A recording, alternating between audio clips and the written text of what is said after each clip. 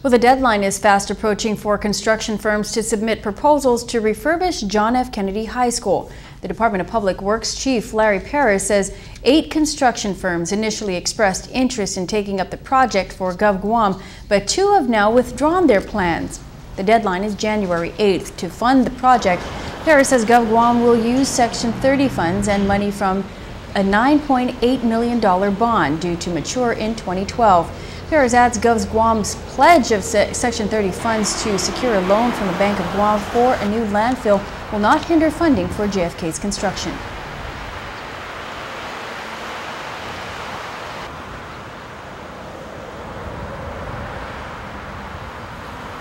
Keep in mind that the, what the GEDA approved earlier is not encumbering the entire uh, funding source. There's about roughly, uh, based on that bond that's going to mature, it's roughly about $9.8 million available.